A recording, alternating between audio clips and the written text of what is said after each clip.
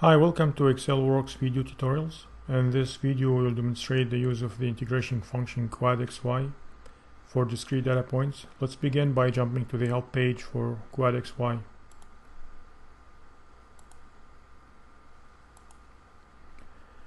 quadxy is convenient for integrating a set of xy data points. For instance, you may have empirical data that you wish to compute the integral of.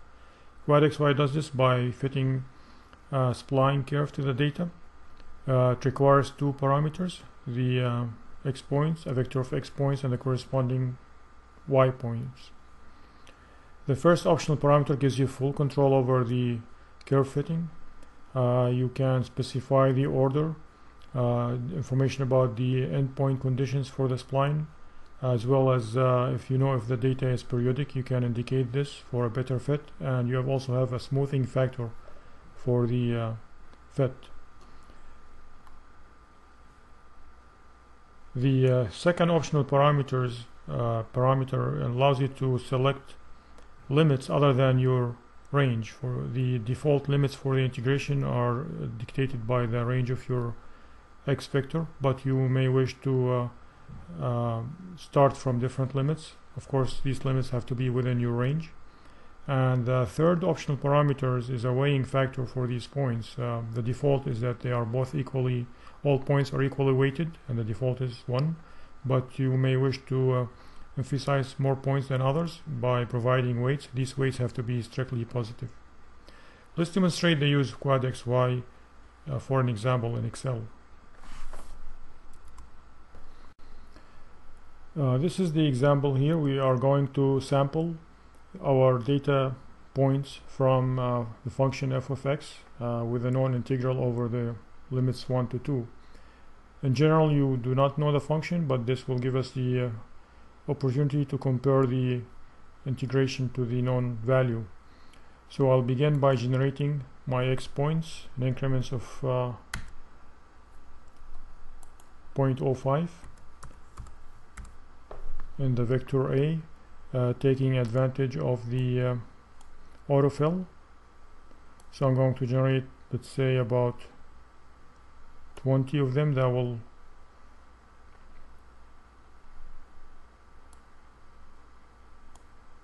Twenty-one that will take us from one to two. Uh, next, I'm going to generate the corresponding y points um, by evaluating the function at these points from the formula.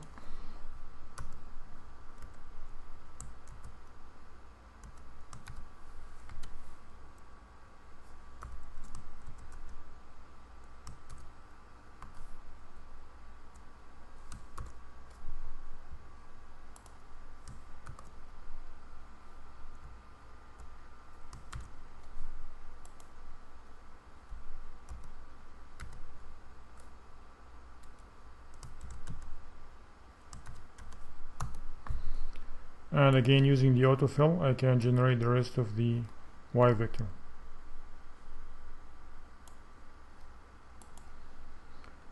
Now to integrate my set of xy data points all I need to do is invoke my quad xy in any cell.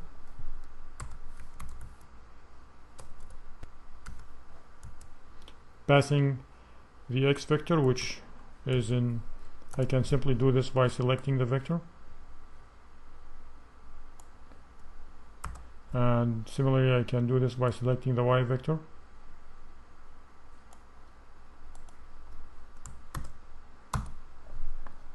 And I compute this answer.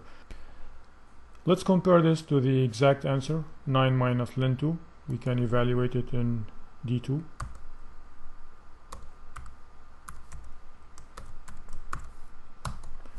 and it's pretty close to what we have computed here at least to six decimal places. Next, let's try to exercise some of the optional arguments for demonstration. We'll begin by changing the order of the cubic fit from cubic to linear and see how this affects the accuracy of the answer. So, going to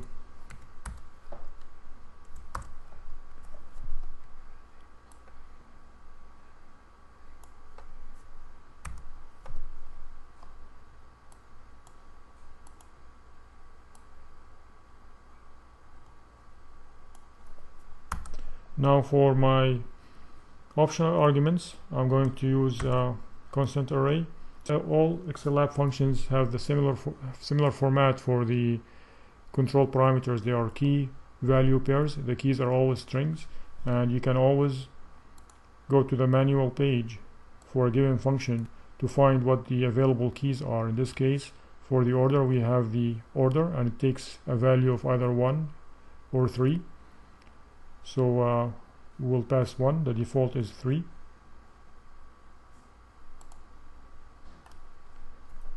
so I'm passing my key which is order.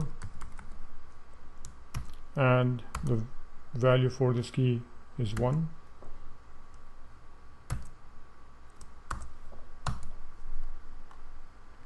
of, as we can see the uh, answer has changed.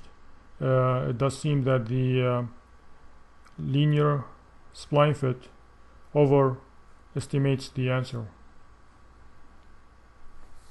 now another thing we can demonstrate is the limits so now the limits for this integral are from 1 to 2 which are dictated by the range of the x data points. Now I can change the limits by specifying different limits and the format for the limits is you can either pass one number which will be taken as the lower limit or you can pass two numbers which will be taken for the lower and upper limit.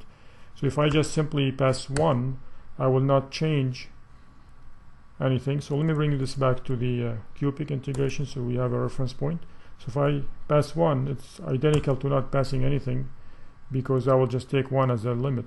But if I pass, for example, 1.1, then I'm changing the lower limit, and obviously your integration changes. It becomes smaller as expected because it's a smaller range. I can also, for example, pass the lower and upper limit as a constant array, so I'm integrating from 1.1 to, for example, 1.9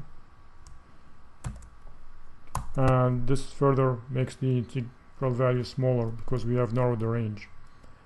Uh, there's really not much to the uh, quad xy. It's very simple to use. Uh, if you know something about these data points and you may and you wish to uh, give more emphasis to some points over others, you can exercise the third optional argument by providing weights, uh, corresponding weights for these points. These weights have to be strictly positive. Uh, thank you for listening. Uh, again, uh, keep checking the website excel-works.com for updated videos.